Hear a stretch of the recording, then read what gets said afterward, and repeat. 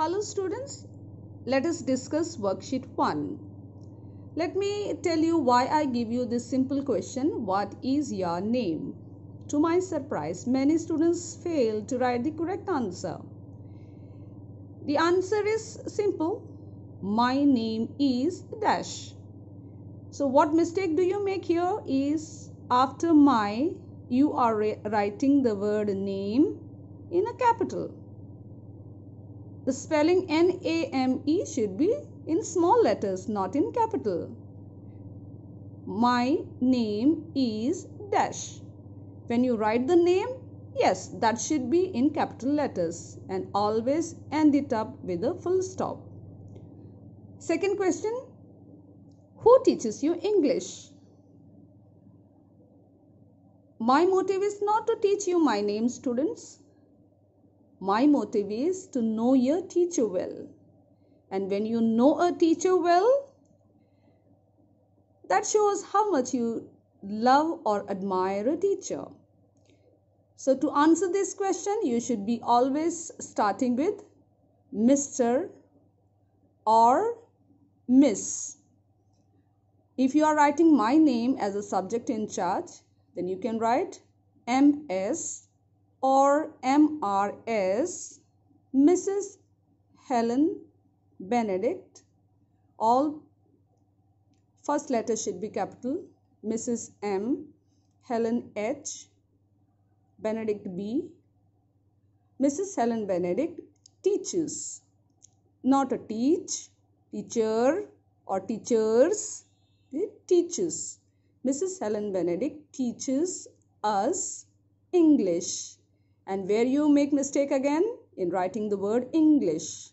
English has to be in capital letters because this is a proper noun here. And end it up with a full stop. Have you read the lesson thoroughly well? Oh this is very simple question. But still dear students you make mistakes in looking at the spelling of thoroughly well.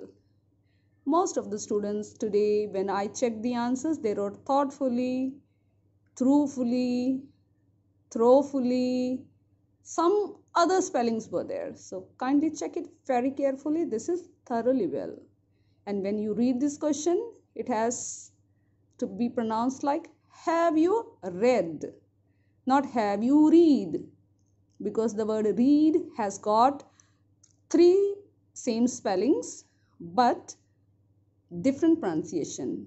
First form read, Second and third will be red, red, but same spelling. Since you have got here the word have, then it will be pronounced as red. So when you are answering this question, you have to write either yes or no. If yes, always put comma. If no, then also put always comma after the word yes or after the word no. Yes, I have read the lesson thoroughly well. No, I have not read the lesson thoroughly well. Put the full stop. Now, very important question that I am going to tell you is the fourth one. What is the name of the lesson? It's very simple to answer this question. But dear students, where you fail? To write it properly. I have told you many times in the class. Today also I am going to explain dear students. So be very careful and attentive when I explain this. Always write first letter capital whenever you are writing the name of the lesson or giving any heading to any of the topic. It should be always written first letter copy capital.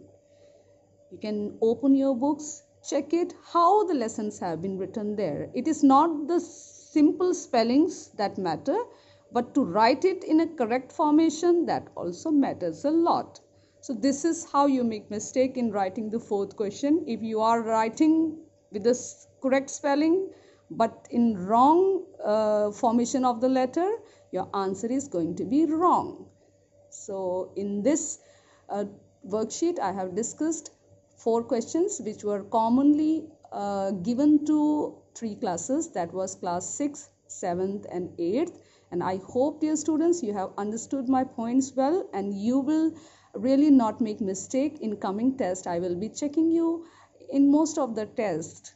So be attentive and try to learn all these small but important points.